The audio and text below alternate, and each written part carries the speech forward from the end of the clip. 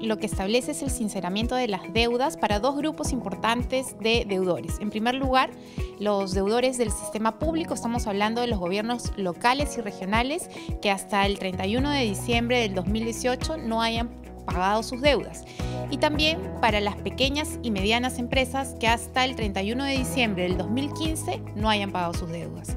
Estas empresas pueden acogerse al sistema de fraccionamiento y de facilidades que vamos a dar. Van a tener un sistema especial donde se les va a exonerar del pago de multas y la extinción de los intereses y van a poder fraccionar sus deudas hasta 120 cuotas.